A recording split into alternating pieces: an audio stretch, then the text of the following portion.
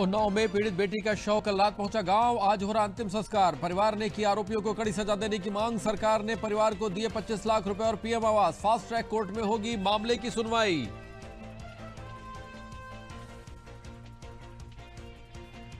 पूरे गाँव में सुरक्षा व्यवस्था की गई चाक चौबंद। पुलिस और पीएससी को गाँव में किया गया तैनात। घर के सामने समाधि बनाकर किया जाएगा बेटी का दाह संस्कार। स्मारक के तौर पर बेटी के समाधि स्थल को बनाना चाहता है परिवार।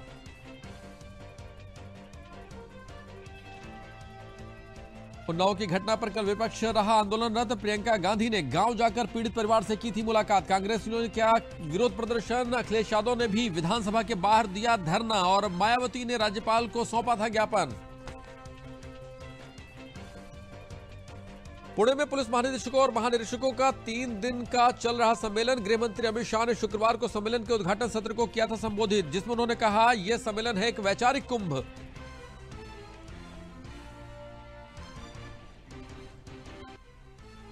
केंद्रीय कानून मंत्री रविशंकर प्रसाद ने कहा कि केंद्र और राज्य सरकार ने 1023 फास्ट ट्रैक कोर्ट का प्रस्ताव किया था, जिनमें से 160 अदालतें पहले से ही कर रही हैं काम।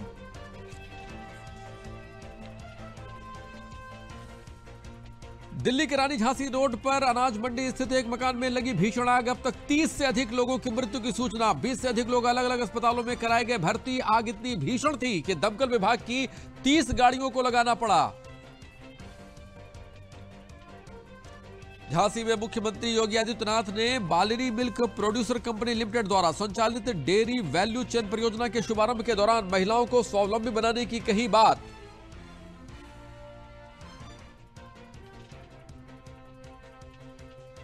कानपुर में प्रदेश की राज्यपाल आनंदीबेन पटेल ने हाईकोर्ट बटलर प्राविधिक विश्वविद्यालय में प्रथम दीक्षांत समारोह में बोलते हुए कहा कि छात्राएँ पढ़ाई के साथ साथ सामाजिक सरोकारों को भी सीखें।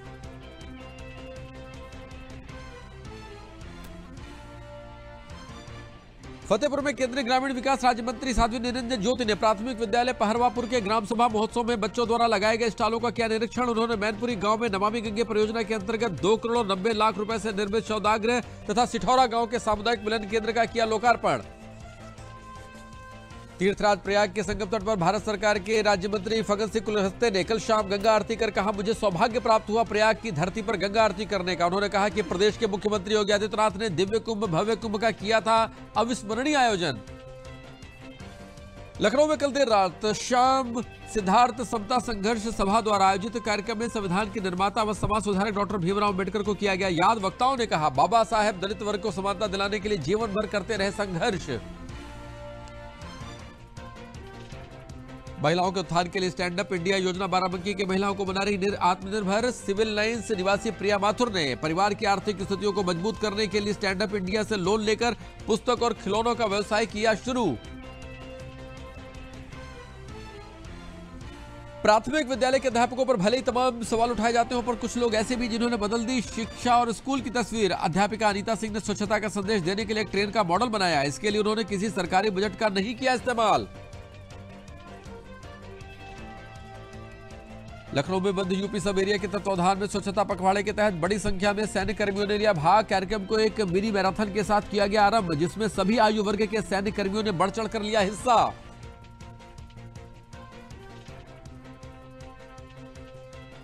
अयोध्या में स्कूली बच्चों द्वारा चलाया गया स्वच्छता अभियान, इस अभियान में 60 बोरा प्लास्टिक कचरा किया गया। एकत्र अभियान के तहत मिलिट्री अस्पताल और छावनी क्षेत्र के कमांड ऑफिसर ने लोगों को स्वच्छता के लिए किया जागरूक।